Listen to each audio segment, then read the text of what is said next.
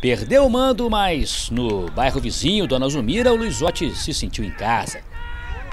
O Roda Viva não quis nem saber.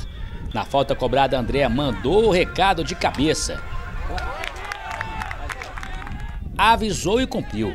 Na bola roubada, Rodrigo sobrou livre para bater rasteira no canto esquerdo de Jonathan, 1 a 0.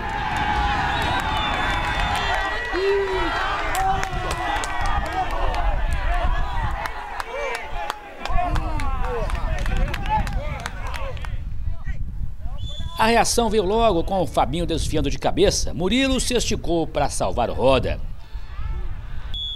Mas o time da casa, vizinha, insistiu. Com todo mundo na área querendo chutar, Murilo até que salvou duas. A terceira, na frente de Clebinho, é querer demais. Um a um.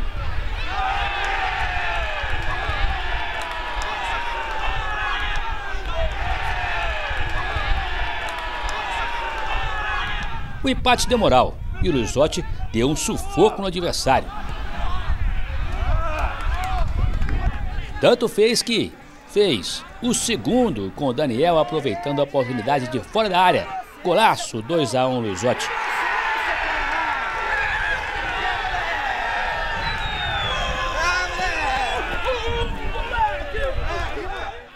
A virada deu tranquilidade ao técnico goiano do Luizotti.